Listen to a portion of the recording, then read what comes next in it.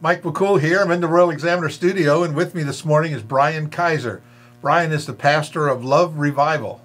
It's a local church on Chester Street, and Bryan has called me up uh, last week and said, you know, we've been feeding a lot of people, and I want to come over and talk to you about it. So Bryan, you're here. So thanks for tell having me, me a little bit about uh, you. You said you're from Front Royal. And we did yes, do sir. a story on you a couple years ago. Yeah. And so kind of we'll get a follow up and see what's new and what sure. you've been doing for the last two years. Yeah. And uh, give us a little background first. Sure. Yeah. Born and raised Front Royal, Virginia. Yeah. Enjoyed hiking, camping, fishing, the normal things around here, and uh, you know, lived a pretty normal, you know, kind of Christian life as right. a kid, and walked away from the faith, became an atheist when I was 15, and had a radical, what I would say, experience with God when I was 17, and fell in love with Jesus and gave my life over to Him. And that's kind of what I've been all about for the last 10 years. And so uh, I traveled and did, planted another church in Roanoke, Virginia, and then two and a half years ago, I feel like I was supposed to come back to Front Royal, where it drags you back, doesn't it? it? It's strange. it's like a magnet. You just can't get away from yeah, it. Yeah, I've heard that story from a lot of people. It, uh-huh. it drags me back. Yeah. yeah. Fortunately, I think it was the Lord, but well, uh, I've know, heard that does too. Work yeah. in mysterious ways. That's very true. Yeah, I came back kicking and screaming. I didn't want to be back, and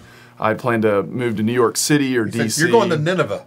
right, yeah, yeah, right. And then a Shenandoah River catfish swallowed me up and brought me home. No, uh, so yeah, I moved back, and uh, I I just really felt like I was supposed to do something for the community and not not really be like a normal Sunday morning church, but still be a, a community, a family that mm-hmm. works together and has a, a common goal and You're mission. Kind of like a mission. Yeah, mm-hmm. Yeah. So two and a half years ago, we started over on Jackson, and we really started praying together, and uh, God just started breaking out. We we believe in healing, and people started getting healed, and people started getting saved, and you know people are getting fed and loved on, and and just this this uh, unity started happening across different church backgrounds. We'd have Catholics and Presbyterians and people out of the bars and all kinds of yeah. different things. And so here we are two and a half years later, and we're in our second building, and we've got like 20 different things going on all the time. And we're just having a great time, just loving Front Royal and going after it. So. Well, it sounds like this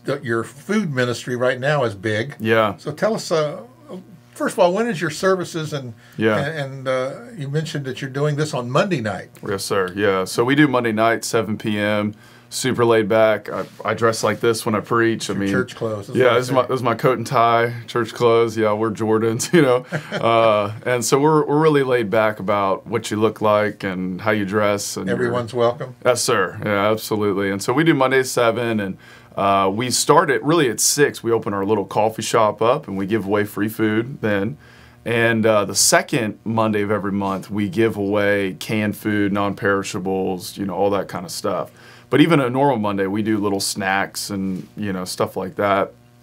And so that's what our Mondays are like. And um, come May, if everything's over by then, which hope and believe it will, um, we are going to relaunch our drug addictions group. We did that for a year we took a little break from that for a time, but we're going to be relaunching that come May. And then the last Friday, which is this coming Friday, um, we do a free community dinner. We've been doing that for two years, every single month. We never skipped one.